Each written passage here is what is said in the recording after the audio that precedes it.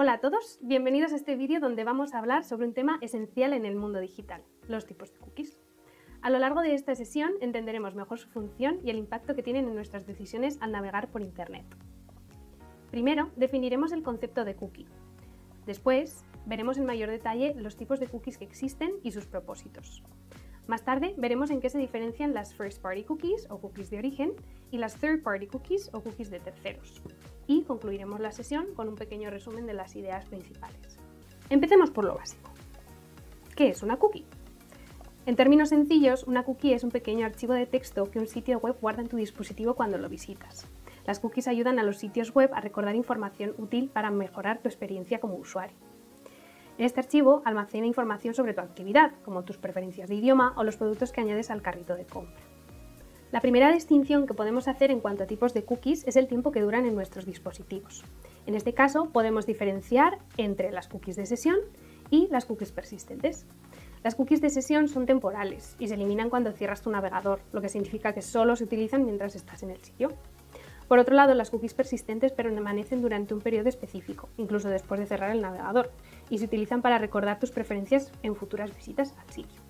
También podemos distinguir los tipos de cookies dependiendo de la función que cumplen. Vamos a verlos uno por uno.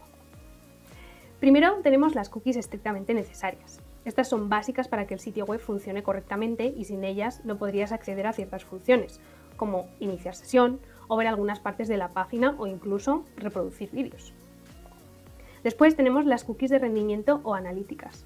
Estas cookies recompilan información sobre cómo los usuarios interactúan con el sitio web, ayudando a mejorar el rendimiento. Por ejemplo, si una página tarda mucho en cargar o si hay un error, estas cookies lo van a registrar. Después tenemos las cookies funcionales. Estas permiten que el sitio recuerde tus selecciones, como el idioma en el que te gusta navegar o la región en la que te encuentras, haciendo tu experiencia más personalizada. Por último, tenemos las famosas cookies de publicidad o de marketing.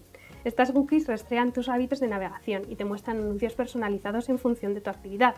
Son, por ejemplo, las responsables de que después de buscar un producto empieces a ver anuncios de ese mismo producto en otras webs. Una parte importante a comprender sobre las cookies es la diferencia entre las cookies de origen y las cookies de terceros, así que vamos a verlas. Las cookies de origen son aquellas que se generan y almacenan directamente por el sitio web que estás visitando para recordar información específica de tu sesión, como los productos que has agregado a tu carrito de compra o el idioma en el que prefieres ver la página web. Estas cookies son esenciales para mejorar la funcionalidad del sitio en particular y generalmente no son vistas como invasivas, ya que solo operan dentro del dominio que estás visitando. Por otro lado, tenemos las cookies de terceros, que son colocadas por un dominio diferente al que estás viendo. Estas cookies suelen ser utilizadas por anunciantes o por redes sociales. Por ejemplo, si ves un anuncio de una tienda mientras navegas en un blog, es probable que esa tienda esté utilizando cookies de terceros para rastrear tus intereses en distintos sitios web. Esto les permite ofrecerte anuncios personalizados según tu comportamiento de navegación en diferentes sitios. La principal diferencia entre ambos tipos de cookies radica en quién las genera y cómo se usan los datos. Las cookies de origen se limitan a mejorar la experiencia dentro del sitio, mientras que las cookies de tercero pues, permiten el seguimiento entre diferentes sitios. Ahora sí, pasemos a la conclusión. Tras esta sesión sabemos que las cookies se usan para guardar información y que existen cuatro tipos diferentes. Las necesarias, que son básicas para la web, las analíticas, que analizan nuestro uso del sitio, funcionales para guardar nuestras preferencias y de publicidad para personalizar los anuncios que vemos. También hemos distinguido entre cookies de sesión y cookies persistentes, dependiendo del tiempo que permanecen en nuestros navegadores. Además, también hemos visto la diferencia entre las cookies de origen usadas por el propio sitio web y las cookies de terceros, que permiten un seguimiento entre distintas páginas. Es importante que conozcamos los diferentes tipos de cookies para poder gestionar nuestra experiencia online de manera informada y espero que tras esta sesión te sientas más preparado para ello.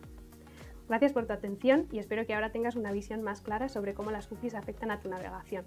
Si te ha gustado este vídeo, déjanos un like Comparte tu opinión en comentarios y suscríbete al canal para más contenido sobre tecnología y Martech. Hasta la próxima.